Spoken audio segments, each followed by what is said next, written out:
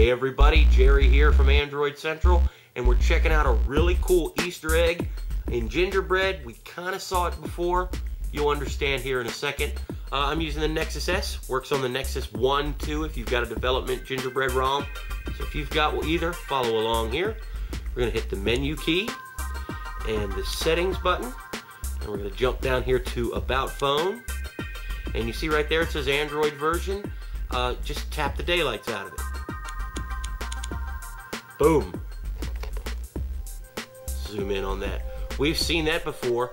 Yeah, it's that weird artwork that we found hidden in the SDK. Uh, now we know what they were doing with it. Doesn't really do anything useful, but it's really cool and we wanted to share it with you guys. Take it easy. I'll holler at you later.